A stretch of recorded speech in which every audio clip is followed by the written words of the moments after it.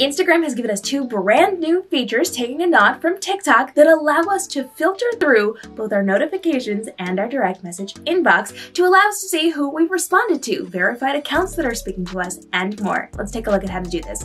Inside of your notifications panel, up at the top right hand corner, you're going to see filter. When you click on filter, you can now select your different categories or account types. So you can look for tags and mentions, comments, or follows. You can look for verified accounts or people that you follow. So when you click on those different buttons, you are able to then apply those and you can then see who has spoken to you in that particular way. When you're done, you can go back into that filter setting and click clear and apply to see all of your notifications again. This also works for your direct message inbox. So we're gonna go over to our direct message inbox and click on filter. We can now see unread, unanswered, flagged, verified accounts, or messages from our close friends. And of course, you can go back up and click that clear button as well. So now you have the ability to sift through your messages to make sure that you're not missing anything important.